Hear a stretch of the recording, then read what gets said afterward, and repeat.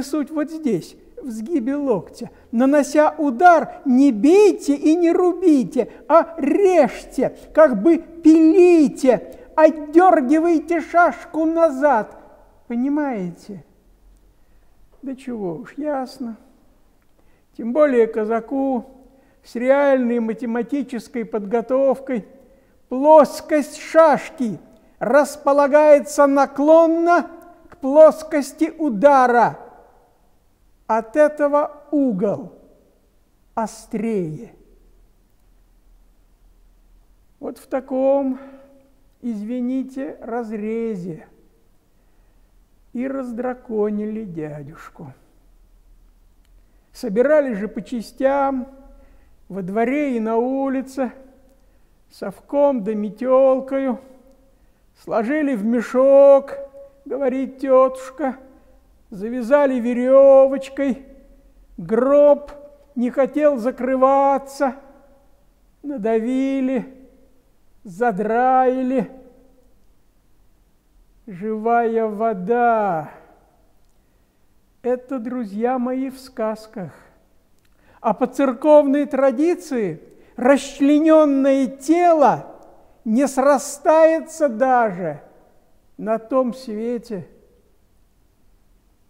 И бедный наш дядюшка, реалист без диплома, свалился, значит, как куль, предсветлые, реалистические очи Дмитрия Ивановича Менделеева.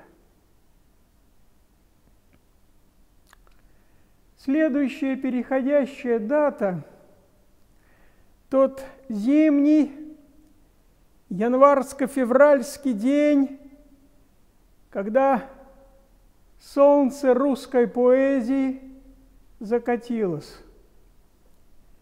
10 февраля, 29 января не стало Александра Сергеевича Пушкина. О воскрешении классика повествует Набоков. История непростая. Прежде всего, создан мемуарист, некто Сухощеков, даже с инициалами А.Н. для достоверности не раскрытыми, и замечательной книгой под тривиальным, в целях, опять же, пущего правдоподобия, названием «Очерки прошлого». Отрывок, сочиненный Набоковым, можно бы озаглавить «Пушкинский отблеск». Говорят, писал Сухощеков, что человек, которому отрубили ногу, долго ощущает ее, шевеля несуществующими пальцами. Так и Россия еще долго будет ощущать живое присутствие Пушкина. До сих пор у нас в Курской губернии живет столетний старик, которого помню уже пожилым человеком, придурковатым и недобрым. А Пушкина нет. Между тем, в течение долгой жизни я часто задумывался, как отнесся бы он к тому, к этому, ведь мог бы увидеть освобождение крестьян, прочитать Анну Каренину. Вспоминаю, что в юности мне было нечто вроде видения. Этот психологический эпизод сопряжен с лицом, которое назову Че. Будучи в 1936 году за границей, Че, совсем юноша, повздорил с отцом, э, героем, к слову, Отечественной войны и в компании с какими-то купцами преспокойно отбыл в Бостон, а затем в Техас, где успешно занимался скотоводством. Прошло 20 лет. Нажитое, настоя... Нажитое состояние Че проиграл. Потом отыгрался. Снова все просадил. Вдруг, вдруг заскучал по России. И с той же беспечностью вернулся в Европу. Как-то в зимний день, в 1858 году, он нагрянул к нам.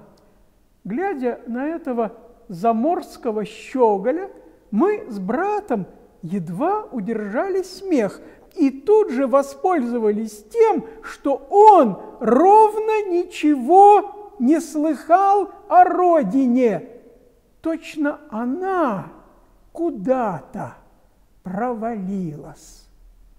Че был жаден до всяческих сведений, э, которыми мы и принялись обильно снабжать его, причем врали безбожно. На вопрос, например, жив ли Пушкин и что пишет, я кощунственно отвечал, как же, как же, на днях тиснул новую поэмку. В тот же вечер мы повели нашего гостя театр. Посмотрите, кто с нами рядом.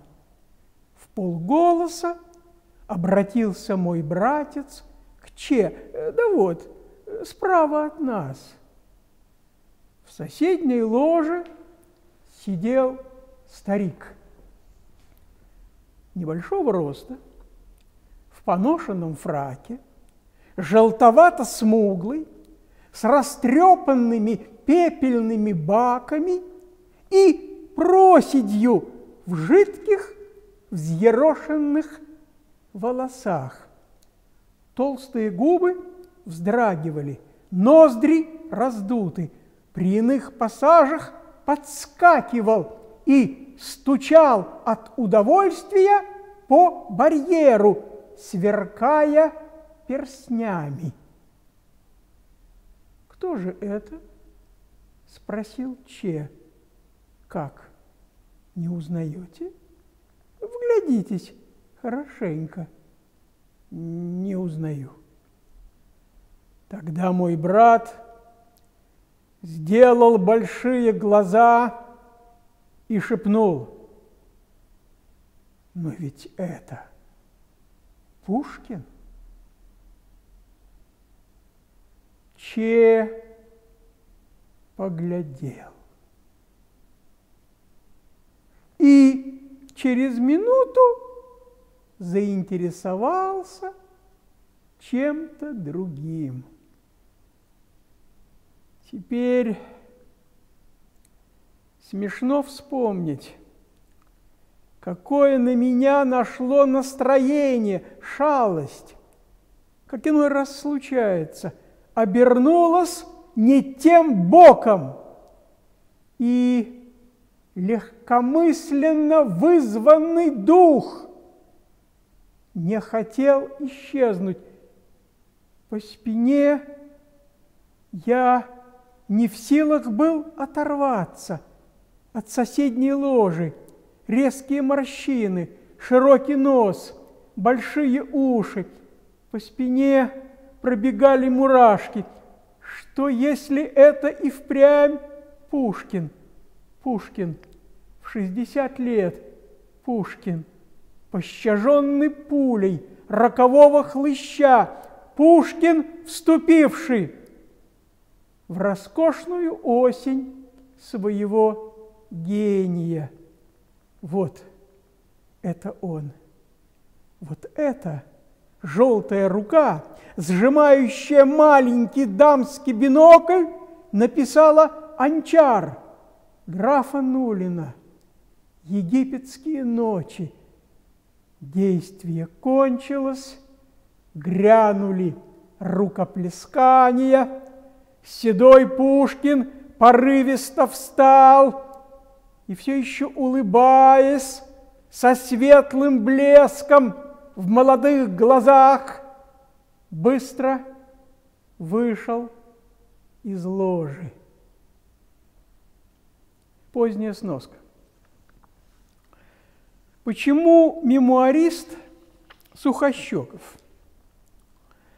Потому что у Пушкина был знакомый Василий Дмитриевич Сухоруков, казачий сотник, историк войска Донского, издатель.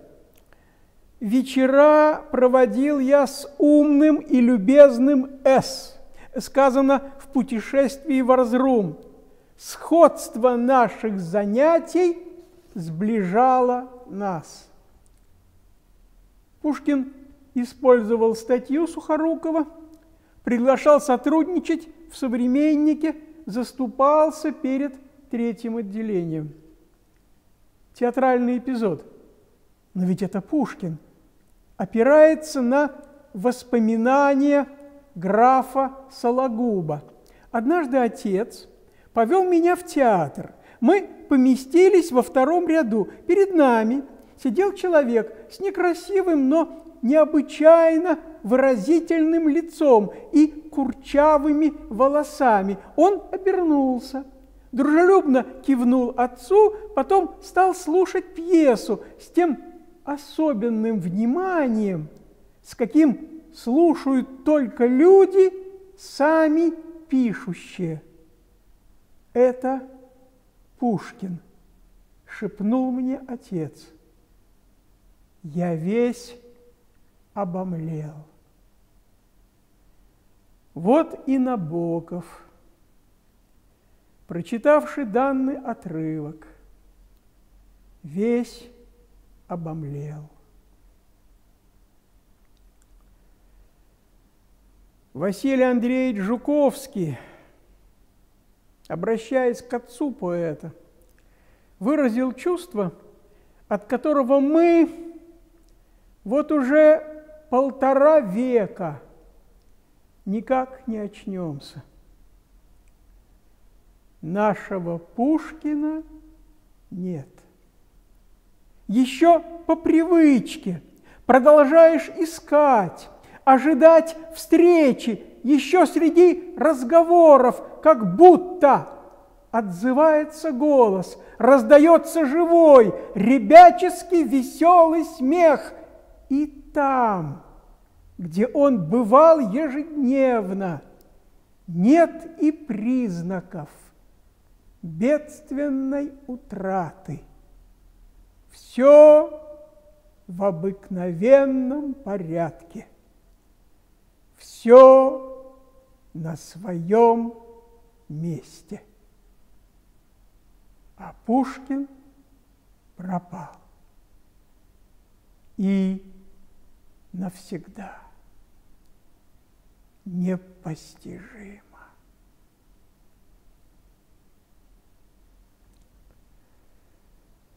Перенесемся в 20 век. 1947 год. 15 февраля по указу Верховного Совета запрещены браки с иностранцами. Служил я тогда в Германии. Хорошо служилось.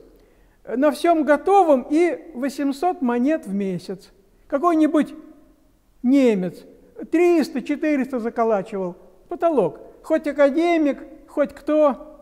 А я лейтенант, 6 классов образования.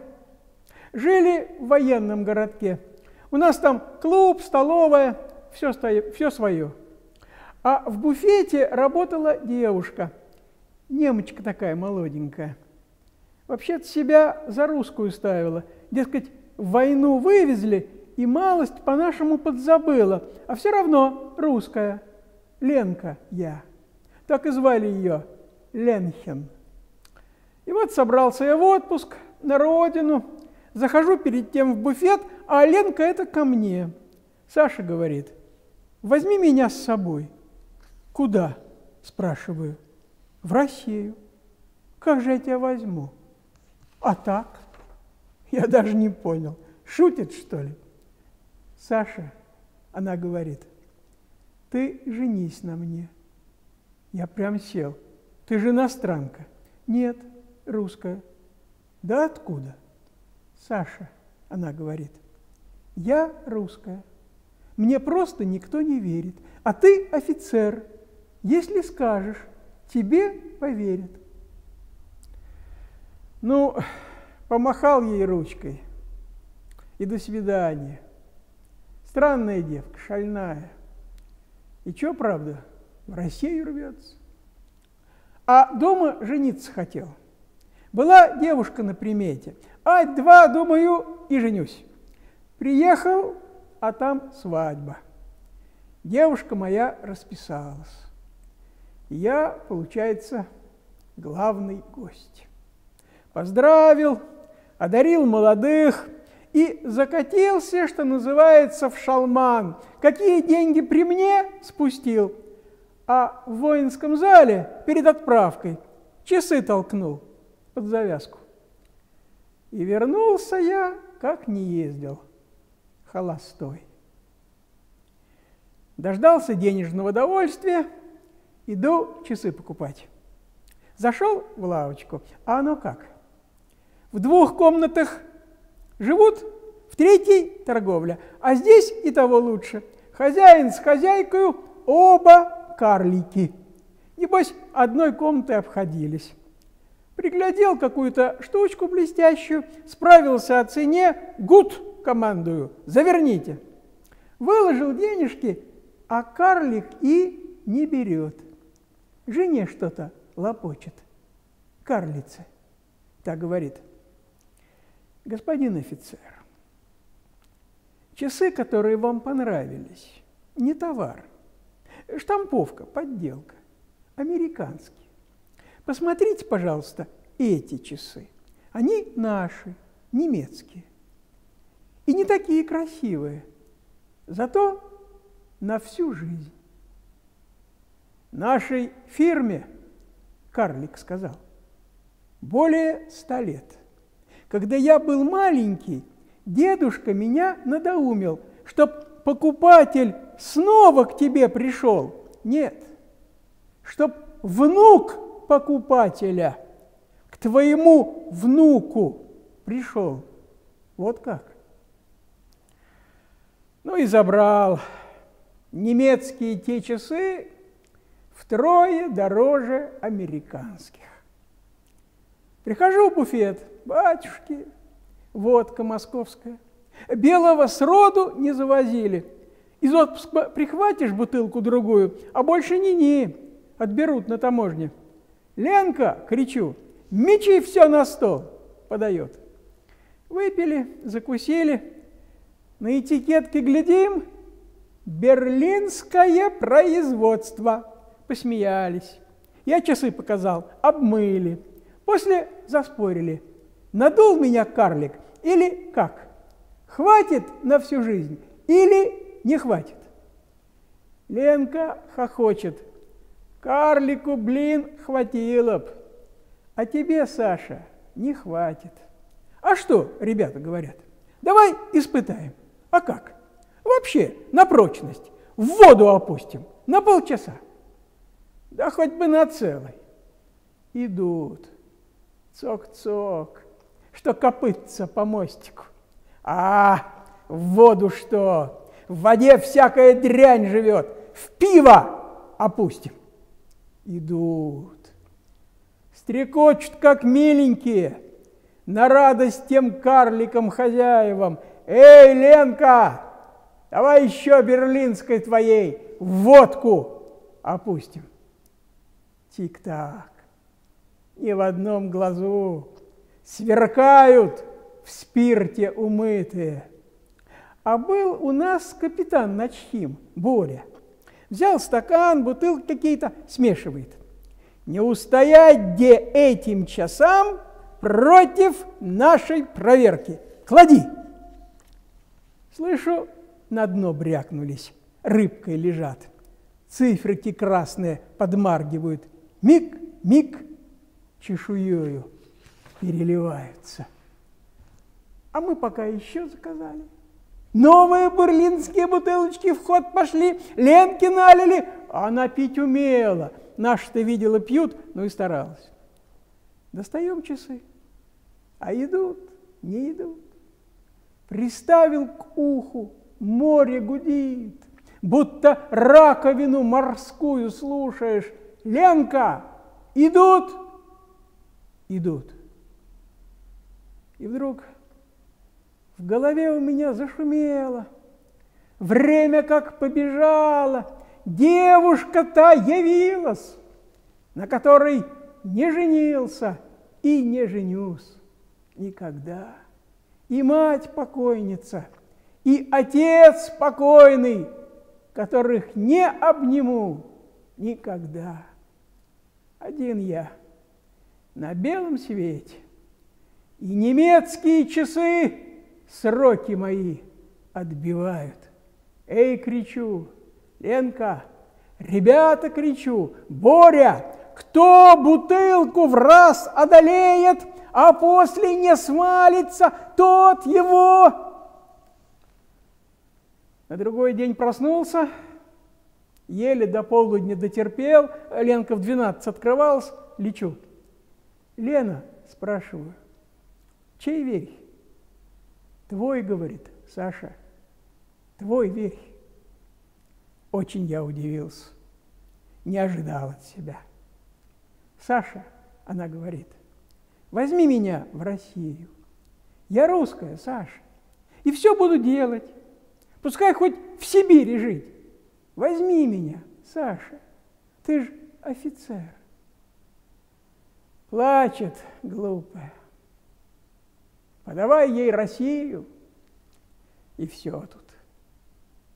Так и не поняла. А меня перевели вскоре. Женился на Марье Ивановне, троих ребятишек имею. Младшая, когда поднялась, на востоке стояли. Дал ей часы поиграть. Она молоток хвать и лупит – Ленхен, говорю, ее Леной зовут. Молотком-то зачем? А там папа чертик сидит, немецкий. Ну, краешек эмали отбила, а повредить ничего не повредила. На тот год в школу пошла. Идут немецкие часы, идут. Продолжение 23 февраля. Защитник Отечества. Борис Абрамович Слуцкий прожил 67 лет. Инвалид войны, майор и политработник, поэт скончался в армейский праздник 23 февраля 1986 года. Говорят, революция пожирает своих детей. Вот их и кинули в мясорубку – первых советских мальчиков. Среди поэтов-фронтовиков и рано погибшие Коган с Майоровым, и Кульчицкий, и Гудзенко, мы не от старости умрем, от старых ран умрем. И ушедшие на наших глазах Левитанский, Самойлов, Винокуров – Советский классик Константин Симонов не считал себя фронтовиком, а только по совести военным корреспондентом. И на вопрос, от чего прекратились стихи, вроде бы отвечал, то, что я хотел написать, написал Слуцкий. Еще живы люди, раскрывшие в середине века литературную газету и прочитавшие небольшую статью Ильи Григорьевича Эренбурга, где Слуцкий сопоставлялся осторожно и косвенно с Николаем Алексеевичем Некрасовым. Господи, что тут поднялось?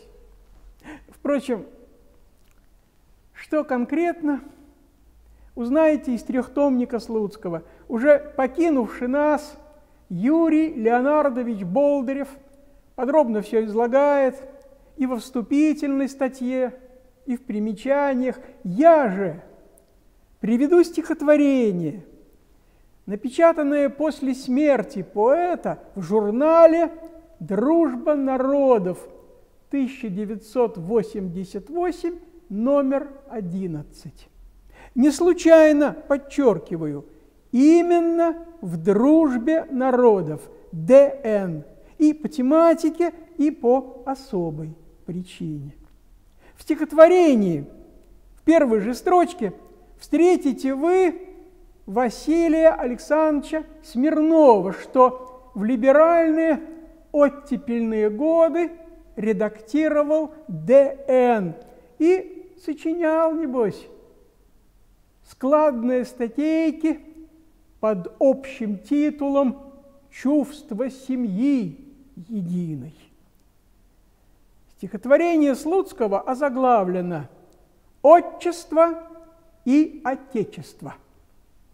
По правилам вроде наоборот – Отечество и Отчество.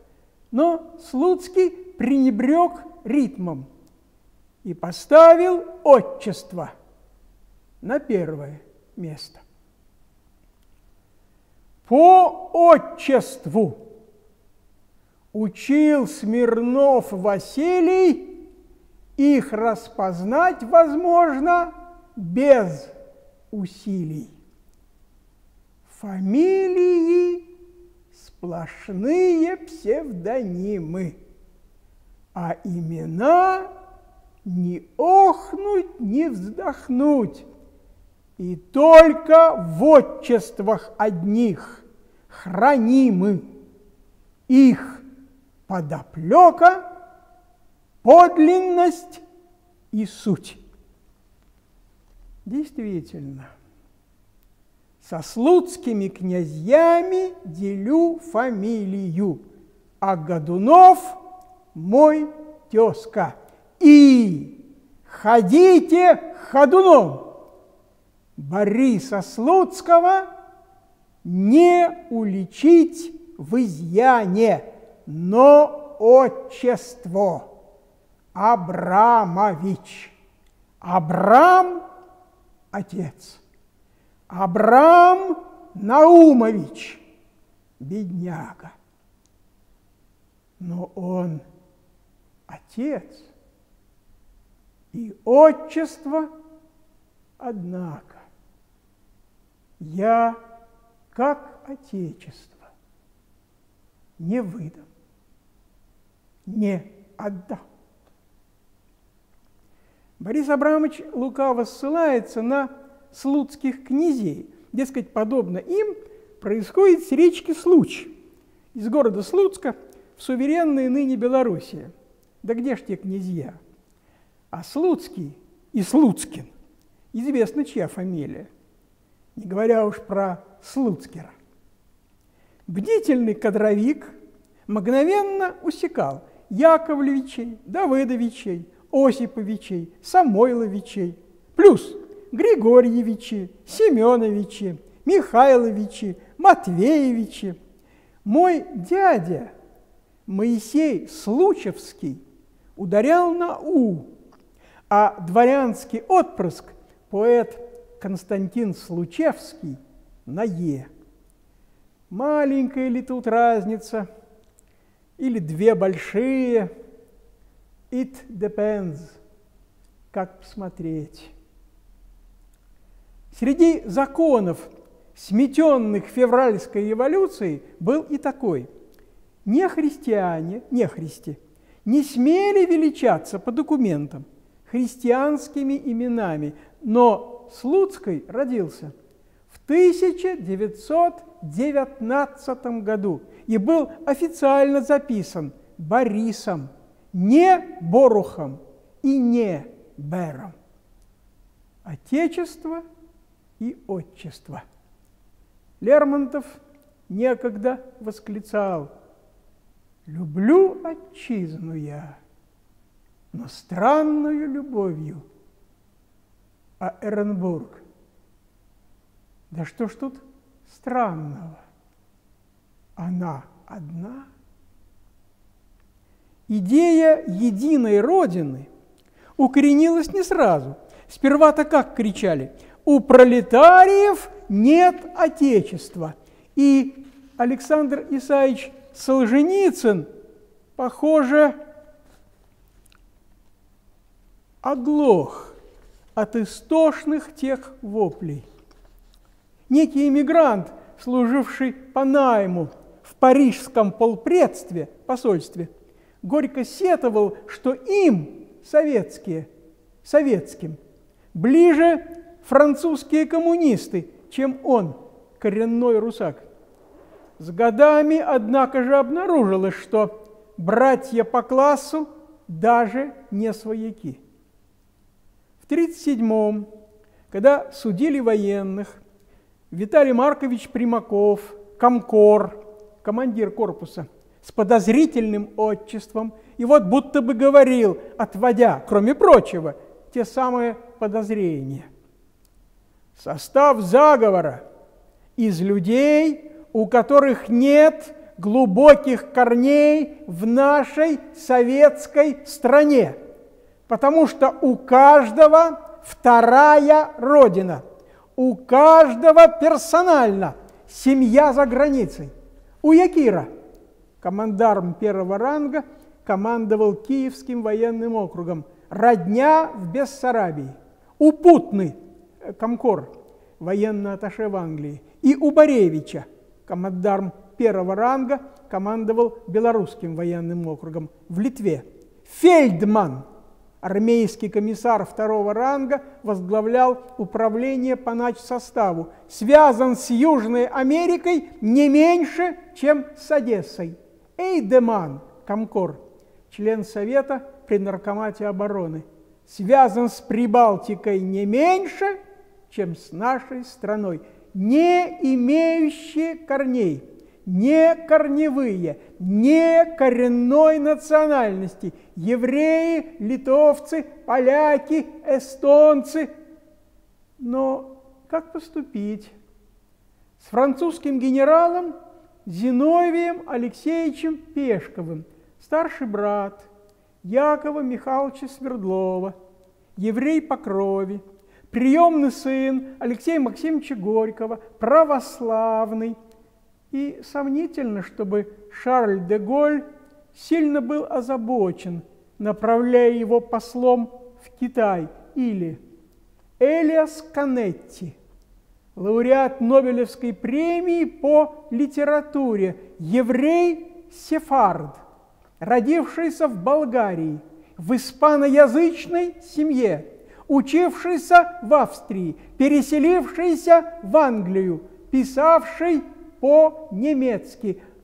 А почему, кстати, по-немецки? Потому, разъяснил Канетти, что я не в силах отдать язык Гитлеру. Когда в сороковые, пятидесятые годы разоблачали космополитов – ходила печально веселая байка, будто бы Шолохов допытывается у Эренбурга. Какой, блин, родины? Вы патриот. Я патриот той родины, сказал будто бы Эренбург. которую предал казак Власов. Хотя Андрей Андреевич Власов не казак, а великорос, семинарист, член партии, генерал-лейтенант, да и с предательством. Не так оно просто. Но байка, согласитесь, занятная. В сборник «День поэзии» полвека тому пробилось стихотворение Слуцкого «Я говорил от имени России». Стою перед шеренгами неплотными, рассеянными час назад в бою, перед голодными, перед холодными, голодный и холодный. Так, стою. Им хлеб не выдан, им патрон не додано, который день поспать им не дают. Но я напоминаю им про Родину. Молчат, поют. И в новый бой идут. Я этот день, воспоминание это, как справку собираюсь предъявить затем, чтобы в новой должности поэта имени России говорить.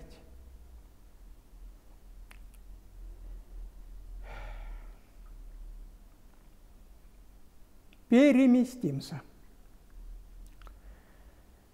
Переместимся опять в девятнадцатый позапрошлый век. Бразилия – последняя крупная страна, где отменили рабство. Случилось это в 1888 году, спустя приблизительно четверть века за крестьянской реформой в России. Ну, посмотрите, как часто обращаются там к истории. Романы, научные исследования, семейная хроника, а фильмы, а телесериалы с фазендами. А все, наверное, потому, что они в Америке стремятся преодолеть прошлое. А мы в родимой Евразии позабыть. Свобода по старому стилю. 1861 год. 19 февраля с манифестом царя-освободителя пало крепостное право. Незапамятное. Нянька рассказывала, что батюшка мой, поехавший раз в гости – проиграл в карты свою коляску, четверых лошадей, а с ними кучера, форейтера да лакея. Будучи холостым, батюшка поставил на дворовую девку, взятую для забавы, и вернул все. А забавная эта девка, говорила нянька, и есть я, вашему богатству заступница – с меня парсуну писать, да на стенку повесить. За здравие мое Богородицу молить. Ее так и звали в деревне. Барская Богородица. Свобода. Матушка моя скончалась в родовых муках. Батюшка пал, сражаясь с Наполеоном, а кормилица – Женщина хитрая бросила меня, семимесячную, больную, почти умирающую, не имея ни капли жалости. Загодя оговорила доброго своего мужа и устроила так, что беднягу сдали в солдаты. Уверяла и клялась, что век будет Бога молить и служить усердно. Не то плакалась, лишиться даже и молока из-за невоздержанного супруга, буяна и пьяницы. И, и, конечно, ни за что не поставит на ноги несчастную сироту. А как исполнилось по ее наущению, фурия-кормилица швырнула меня на палате и, подбоченившись, говорит, «Муж мой, солдат, стало быть, я вольная, и больше вам не слуга». Народная песня. По вечерам бабушка угощала нас доморощенными музыкантами и певцами. Помню одну, самую голосистую, Аксютку. Как нравилось мне, когда, жеманясь и закатывая глаза, она беспрестанно кивала головою, точно китайский болванчик, с особенным чувством. Аксютка вытягивала среди долины ровные, на гладкой высоте.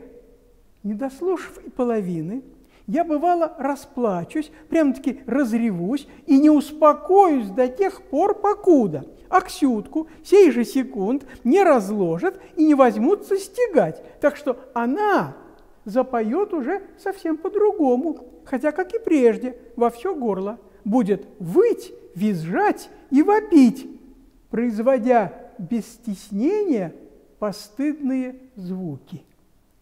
Тогда слезы мои мигом просохнут, начинаю смеяться, хохотать. Бабушка благодушно улыбается, Аксютку угощают с барского стола, с притворной суровостью укоряя аккомпанементом. Она шмыгает, благодарно кланяется – запихивая в большущий свой рот чуть ли не пол пирога разом. На ходу оборачивается и опять сгибается в три погибели. «Ну, ступай уж, ступай!» – ворчит бабушка и призывает потешить нас скрипача Фильку. Пра-пра-пра. У Древской – Авдотьи Васильевны. Банный мужик был, Иван. Сам не так из себя видный, ни плечами, ни ростом, а руки длинные, жилистые, как веревки. И нос такой тощий, дол долгий. И то вроде набухнет, твердый сделается, то опадет. В баню идти барыня Древская с собою Ивана кличет. А мыли ее девки, штук до шести. Вот они барыню намоют, распарят, на лавке разложат. Тут она засмеется и Ване своему скажет, что-то, мол, ты совсем у меня и не мужик. Ваня носом потянет, оботрется, да на самую молоденькую и налетит. А то не дается. А барыня Славки кричит, не сметь у меня, не сметь и хохочет.